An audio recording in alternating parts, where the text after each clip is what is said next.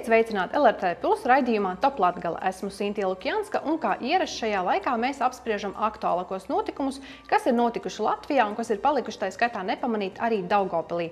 Ikdienas Covid-19 saslimušo pacientu skaits pieaug, ir arī nāvis gadījumi, taču pagaidām neviens par to skaļi vēl nerunā. Uh, par kādiem, kādiem ierobežojumiem, kas varētu mūs sagaidīt varbūt jau tuvākajā nākotnē. Kāda šobrīd būtībā ir situācija Latvijā ar Covid-19? Vai mēs varam justies droši un ignorēt šo saslimšanas skaitļus? Kas mūs sagaida jau rudenī vai jauns varbūt Covid-19 vilnis? Šodien par to ne tikai ar video zvanu starpniecību mēs sarunāsimies ar slimību profilakses un kontrolas centra galveno pārstāvju epidēmijas kontekstā epidemiologu Juriju Perevaščikovu. Sveicināti! Labdien! Un kā ierasts, sākam ar aktuālāko ziņu apskatu.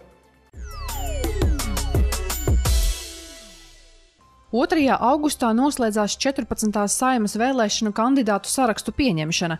Centrālā vēlēšanu komisija ir saņēmusi 19 politisko partiju un apvienību sarakstus, kuras ir paziņojuši par savu vēlmi piedalīties vēlēšanās. 5. augustā pulkstens vienos notiks Centrālā vēlēšanu komisijas sēde, kurā tiks izlozēti 14. saimas vēlēšanām reģistrēto deputātu kandidātu sarakstu numuri. Izloze notiks deputātu kandidātu sarakstu reģistrēšanas secībā, kas redzama CV kā 14. saimas vēlēšanu mājaslapā. Uz 100 deputātu vietām parlamentā kopumā kandidē 1832 kandidāti, no kuriem lielākā daļa ir 63,7% ir vīrieši. Kandidātu vecums galvenokārt ir no 30 līdz 60 gadiem. Lielākā daļa kandidātu ir no Rīgas. Viņiem seko Daugopils, Jūrmalas, Liepājas, Jelgavas, Rēzeknes un Ventspils pārstāvji. Citi kandidāti dzīvo reģionos, nevis valsts nozīmes pilsētās. Celtniecības materiālu darba cenu pieaugums nav iemesls, lai pārtrauktu tehniskās dokumentācijas sagatavošanu, kas nepieciešama tā vai cita projekta īstenošanai.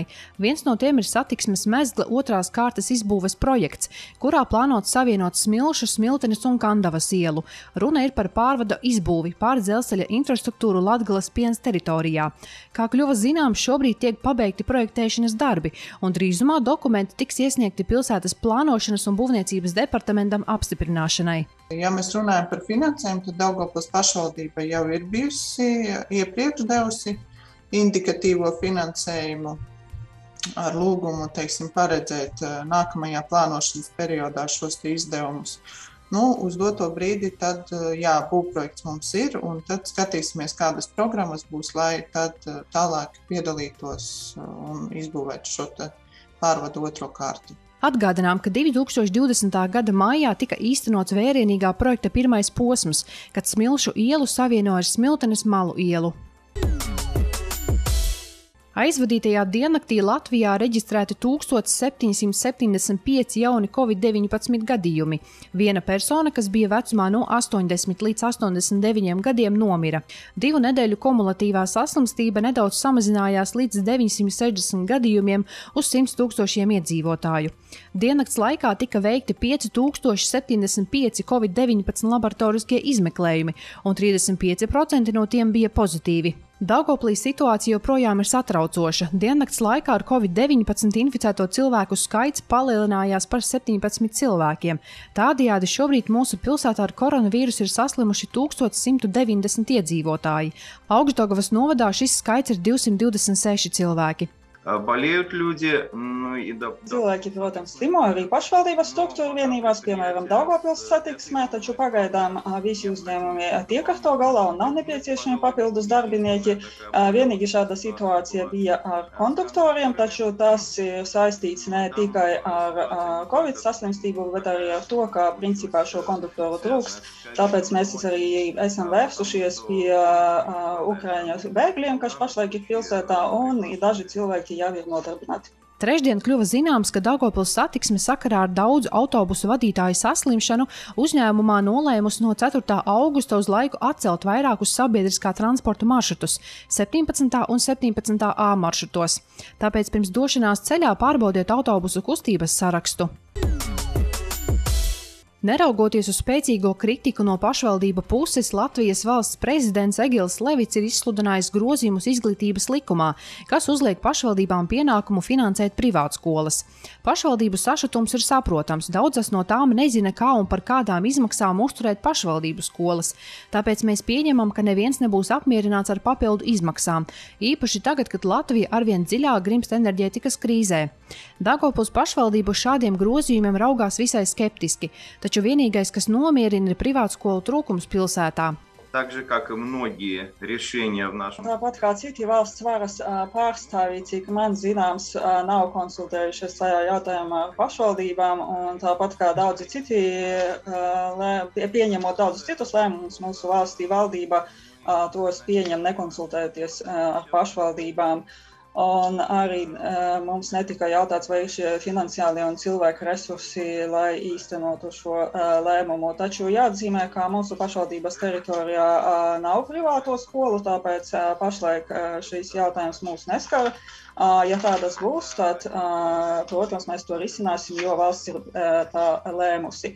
Grozījumus iesniedz Nacionālās apvienības deputāts Ritvars Jansons. Pēc viņa domām, ja vecāki vēlas, lai viņu bērni mācās privātskolā, pašvaldībām tas ir jānodrošina. Arī skolotāju arotbiedrība bija neizpratnē par šo iniciatīvu. Jau šos sestdienas, 6. augustā no 2012. līdz 18. Stropu ezerā pie airēšanas bāzes notiks 4. starptautiskais Dragon Boat airēšanas festivāls. Sacensību organizators ir Latgales ūdens sporta veidu centrs Dinaburg, sadarbībā ar Daugopils sporta pārvaldi, kā arī Latvijas kanoja federācijas atbalstu. Sacensībās par uzaru notiks piecās grupās - vīrieši, sievietes, jauktās grupas miks, profi komandas, viena gada un vairāk airēšanas pieredze, jauktās grupas miks miks amatieri mazāk nekā gada airēšanās pieredze un miks jauniešu jauktās komandas 2008. gadā dzimušie un jaunāki. Visiem dalībniekiem būs jāveic 200 metru distance. Jau ir zināms, ka sacensībās piedalīsies komandas no Lietuvas un Polijas, kas būs sīva konkurence mūsu profesionālajai Dragon Boat komandai Dinaburg. Pašlaik Latvijā ir vairāk nekā 886 tūkstoši inficēšanās gadījumu ar covid-19. Ikdienas arī atgriežas samērā eh, liels šis eh, saslimušo skaits, kas pārsniedz jau tūkstots iedzīvotājus. Taču gan ārsti, gan valdība tā kā klusē. Kāda vispār šobrīd ir situācija Latvijā? Principā, ja vēl nedēļu iepriekš mēs varētu droši pateikt par to, ka saslimstība pieaug, bet eh, nu, pēdējie dati liecina, ka šis pieaugums mazliet apstājas divas nedēļas salīdzinot pēc kartes, šis pieaugums sasniedz apmēram 6%. Bet eh, vēl pirms nedēļas mēs bijām runājuši par 50%. Mēs arī turpinām monitorēt ne tikai Latviju, mēs skatāmies, kas notiek apkārt pasaulē, jo epidēmijas izplatās starp valstīm, cilvēki ceļo un ļoti svarīgi paskatīties, kas notiek kopumā Eiropas Savienībā. Un šie dati arī liecina par to, ka Šis pieaugums, vasaras pieaugums, kurš, bija raksturīgs arī iepriekšējām sezonai, jo pagājušā gada arī vasarā bija sācies pieaugums, bet viņš ir sācies arī šogad, bet tikai kādas trīs nedēļas iepriekš. Un Eiropas Savienības valstis, manuprāt, viņš arī sasniedzis savu maksimumu, un tagad notiek samazinājums. To mēs redzam gan Francijā, gan liela valstis Vācija, Itālija un kopumā Eiropas Savienība. Tagad šķiet, ka šis vasaras pacelums ir pārgājis. Un, e, runājot par Latviju, par Lietuvu, par Igauniju, mums pacelums sācies kādas trīs nedēļas vēlāk pēc Eiropas Savienības datiem. Un, līdz ar to mēs arī varbūt, ja, ja situācija attīstīsies līdzīga veidā, tad visticamāk mēs arī sagaidīsim šo uh, samazinājumu pirms, uh, pirms rudens pacelumā. Tas nozīmē, ka šobrīd mēs varam justies droši un tuvākie ierobežojumi tuvākajā laikā mūs arī negaida. Nu, redzēt, droši mēs nevaram justies, jo tas ir atkarīgs no cilvēka veselības stāvokļa. Slimība ir ļoti izplatīta, infekcija mm, izplatīta diezgan daudz un plaši. Uh, Un, starp citu, arī sasniedza arī tagad Latvijas reģiona šis pacelums vislielākā saslimstība. Pēc pēdējiem datiem Latvija ir tieši Daugavpīlī. Tātad inficēšanās risks ir augsts. un inficēšanās risks pats par sevi dotajā brīdī, ja mēs slimojam ar omikrona variantu, pats par sevi daudz ko neizsaka, jo lielākā daļa pacientu, nu, tas, tā ir nepatīkama saslimšana, bet viņa nav tik kritiski smagā, kā bija daudziem pacientiem pagājušā rudenī. Un nu, vispār līdz parādījies omikrons. Iepriekšējie celmi, delta, alfa un sakotnēs uhāņa celms izraisīja ļoti, ļoti liela daudzuma hospitalizāciju, pacientu hospitalizāciju un lielu mirstību.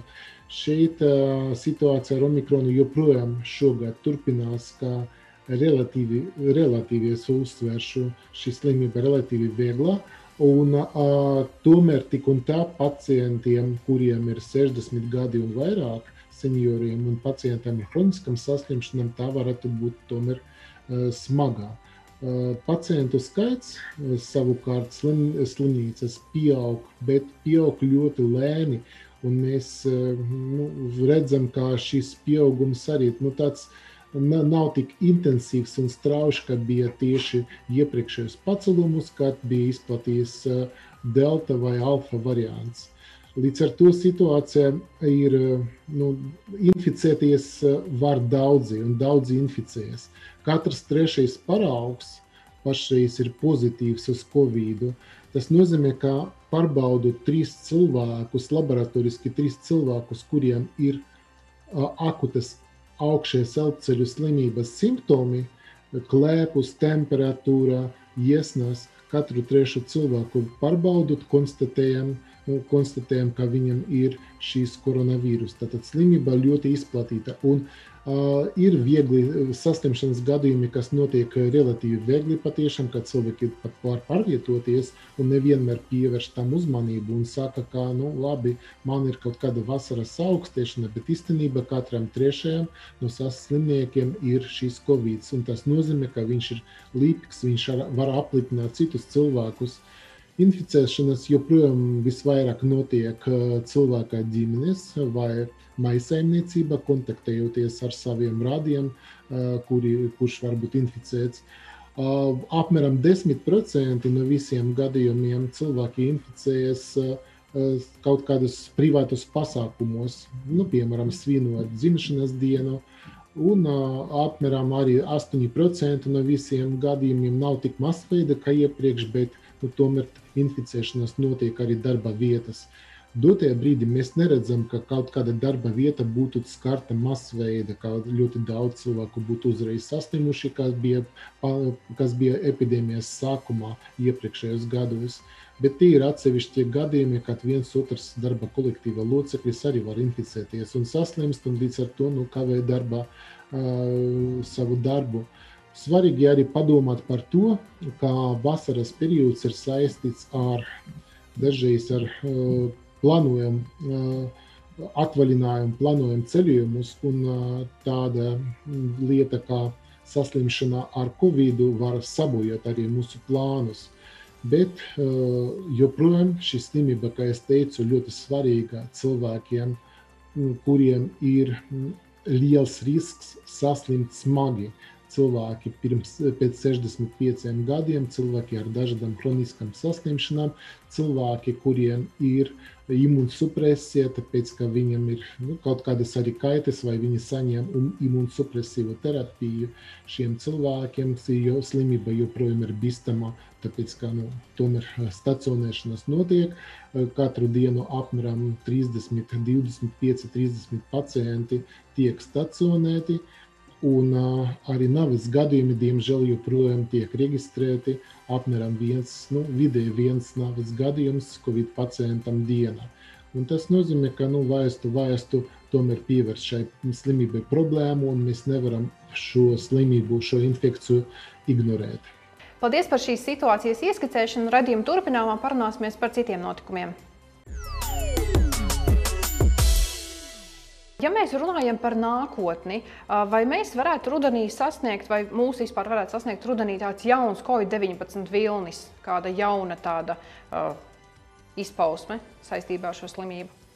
Varbūt atgriezīsimies, atgriezīsimies pie attālinātā darba un būtībā kādas ir prognozes?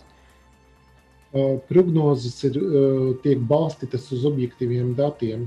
Nu, pirmam kārtam vajag saprast faktorus, kurus, tie faktori, kuri ietekmē šīs slimības pieaugumu vai samazinājumu.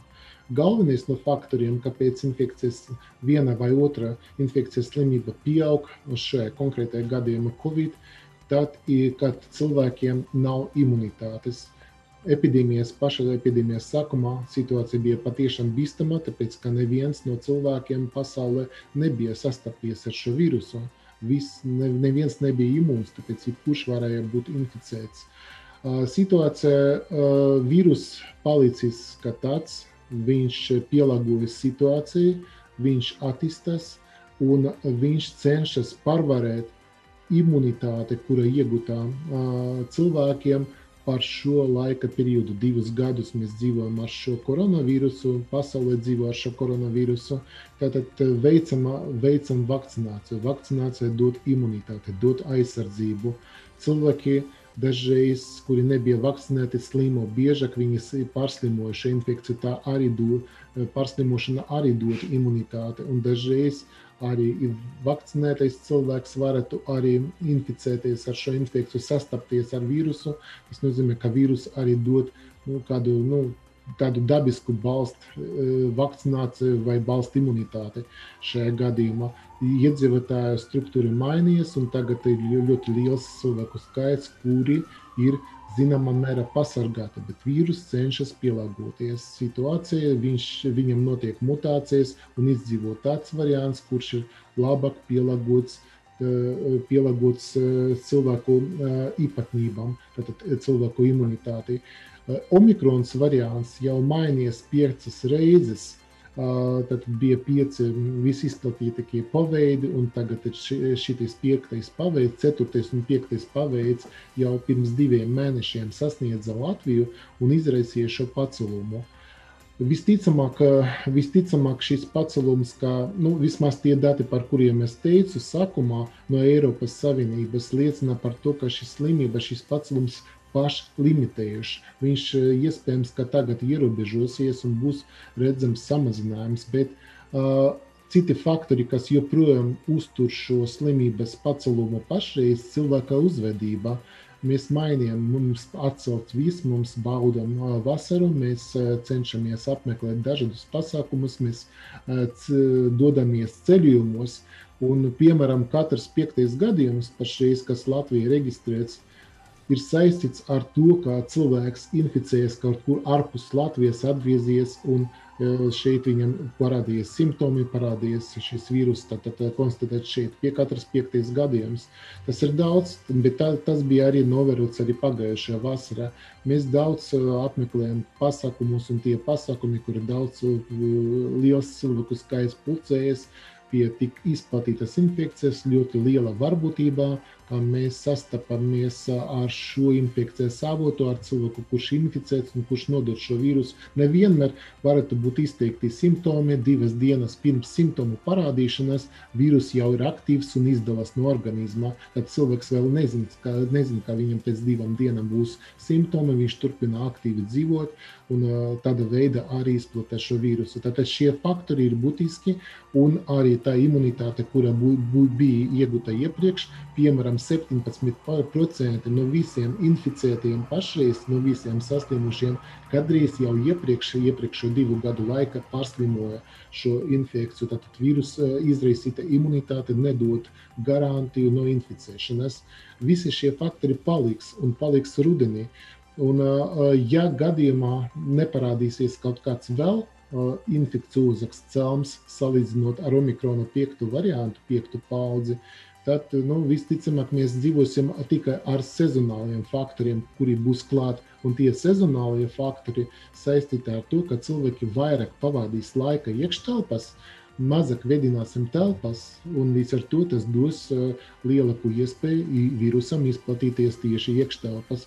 Bērni atgriezīsies no uh, bērnu brīvdienām, būs atkal uh, veidosies bērnu kolektīvi, īpaši skolās, Un šādus kolektīvus vīrus arī izplatās pietiekami ātri un pietiekami strauji. Bet bērni nedzīvo pati pa sevi, viņiem ir vecāki. Tad atkal tie mājas pērkļi var, varēs veidoties daudz intensīvāk nekā pašreiz, un tas viss dos uh, kopumā šie sezonālie faktori izraisa ikvienas sezonālas infekcijas pieaugumu. Tieši kaut kur apmēram septembra otrajā pusē mēs redzam parasti to pirmo akutu augšu elpceļu infekciju pacelumu. Šoreiz tas varētu būt arī saistīts liela mēra ar šī koronavīrusa aktivāciju, aktivizāciju tieši rudenī. Bet viss ir svarīgi turpināt monitorēt, diezgan uzmanīgi monitorēt situāciju, un tikai pēc saslimstības rādītājiem nevar pieņemt lēmumus par to, ka vairs kā veikt kādus ierobežojumus. Ja ir augsta saslimstība, protams, mēs Iesakām cilvēkiem būt uzmanīgiem, slimniekiem palikt mājās, neinficēt citus, bērnus arī slimus atstāt mājās. Tad tādā veidā mēs varam tomēr, zinām, mēram ierobežot šo izpla, slimības izplatību.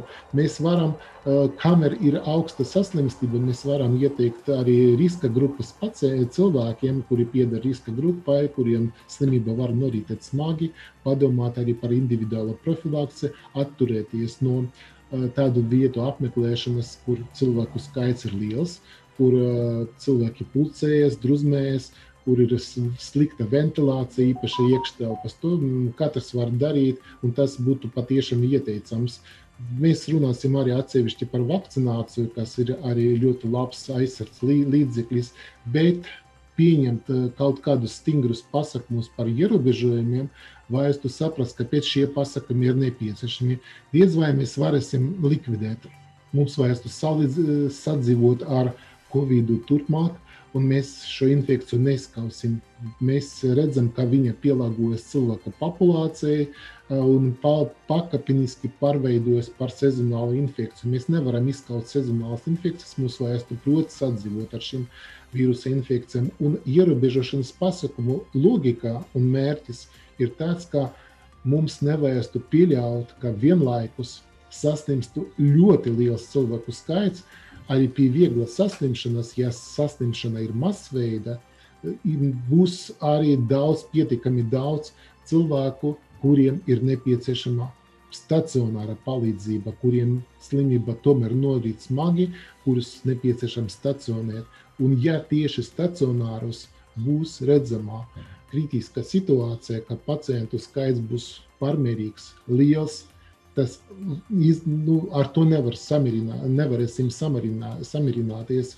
Tad šādus gadījumus vajadzētu pieņemt kaut kādus pasākumus, papildu pasākumus, lai mazinātu šos infekcijas izplatību. Mēs, kā jau teicu, nevaram viņu likvidēt, nevaram novērst, bet mēs varam izstiept šo pacelumu lai viņš nebūtu akuts, lai visi nesaslimtu divu, trīs nedēļu laika, bet lai šis periods būtu garāks. Tas atsvabinās mūsu ārstniecības iestādes no pārmērīgas slodzes, bet visu to mēs pašreiz droši nevar pateikt, kas tieši būs. Un ja tāpēc speciāli bija sagatavoti trīs attīstības, epidēmijas attīstības scenāriju, un katram scenārijam bija pieņemta, lē, būs pieņemta lēmumi, kā mēs tad rīkosimies pie katra atsevišķa scenārija. Pirmais, Tad vis, varbūt raidījuma turpinām arī par to jā. parunāsim, kādi tad ir šie trīs dažādie varianti, kā mēs dzīvosim varbūt turpmāk. Tad, kā jau jūs tikko iesākāt runāt par to, ka ir tādi tie trīs topošie varianti, kādi ir pēc Covid jauna varbūt epidēmijas sasniegšanas. Kādi ir šie varianti? Varbūt varat tā īsi pastāstīt par katru no tiem. Nu, teiksim tā, ka teoretiski vispār varētu būt pieci varianti. Pirmais, nulles bāzes scenārijs, vīrus pazudīs. Masticams. Un ļoti piektais variants ļoti smags, ka atkal izveidosies kaut kas tāds, kas izraisīs jaunu pandēmiju.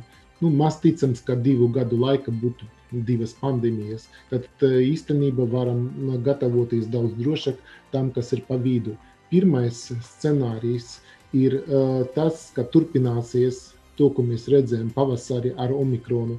Milzīgs inficētu skaits, bet uh, slimnīcas noslogotas nu, tomēr, tomēr nav tik smagi, kā tas bija iepriekš pie iepriekšējiem variantiem. Otrs, tātad arī trešais variants, kas ir smagākais pēc scenārijiem, kaut kas līdzīgs delta vīrusam. Vīrus mutēs, vīrus pielāgosies, nu, pielāgosies atkal jauniem apstākļiem, cilvēku imunitātei, bet viņam būs lielākā kliniskā nozīmē.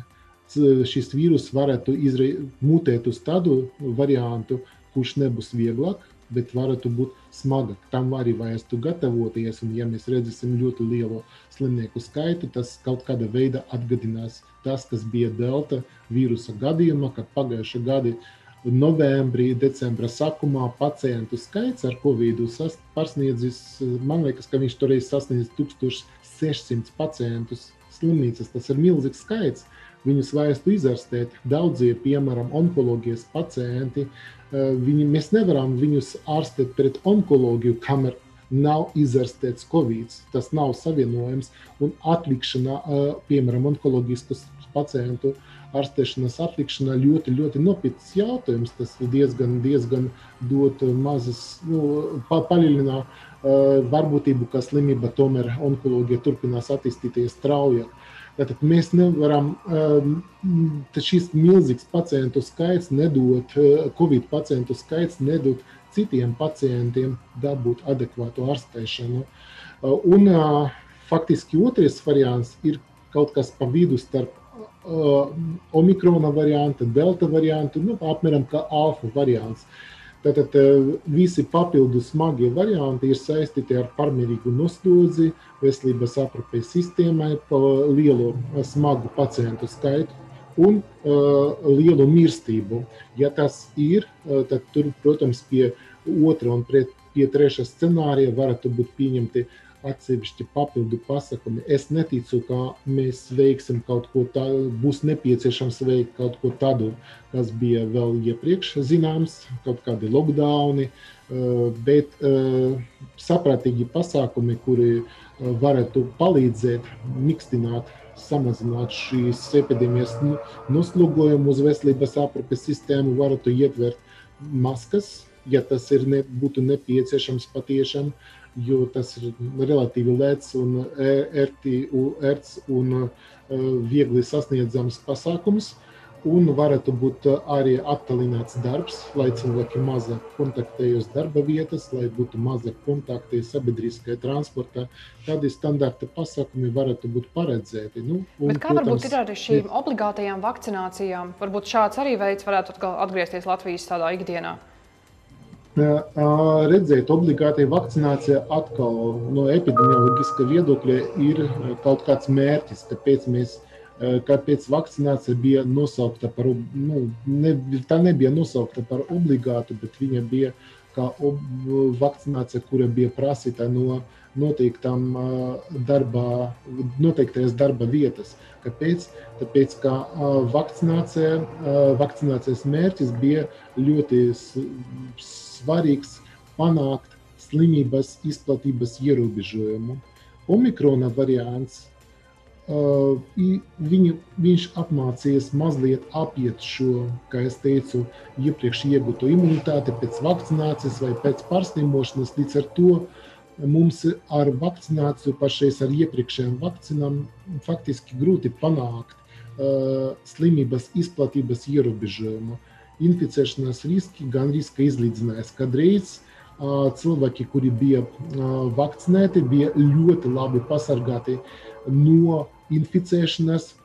Citi cilvēki bija pasargāti no infekcijas izplatīšanās, bet vīrusu pielāgojas. Tātad inficēšanās risks varētu būt gandrīz līdzīgs tiem, kuri vakcinējas jau iepriekš. Tāpēc obligāta vakcinācija no epidemioloģiska viedokļa pašreiz nu, tur nā, ne, nebūtu tāds pamatojums, ļoti svarīgs pamatojums. Uh, vienkārši vakcinācija kā tādai uh, cilvēku aizsardzība pret smagām slimības formām. Nedod cilvēkiem slimot smagi, nedod slimniekiem mirst no Covid. Vakcinācija šeit darbojas perfekti joprojām, un mēs redzam, ka varbūtībā saslimt smagi un varbūtībā nomirst no Covid ir apmēram 4-4 reizes mazākā tiem, kuri bija vakcinēti. Tie, kuri nebija vakcinēti, mirstības un uh, letālu iznākumu biežums un uh, nokļūšana slimnīcās 3-4 reizes biežāk. Tie ir dati par jūnija mēnesi. Tie ir svaigi dati. Tas nozīmē, ka vakcīna, kura bija ievadīta jau iepriekš, pirms kāda laika, joprojām darbojas. Bet epidemioloģiskie riski mazāk pašreiz novērsti, tāpēc obligātas vakcinācijas noteikšanā, nu, nosacīta obligātas vakcinācijas noteikšanā nav tāds epidemioloģiski pamatots pasākums. Tad domāju, ka ar šo mēs arī varam pabeigt. Pateicos par sarunu, Peravošķikovu kungs. Paldies, skatītāji, ka šodien bijāt kopā ar mums. Lai izdevies vakars, visu labu!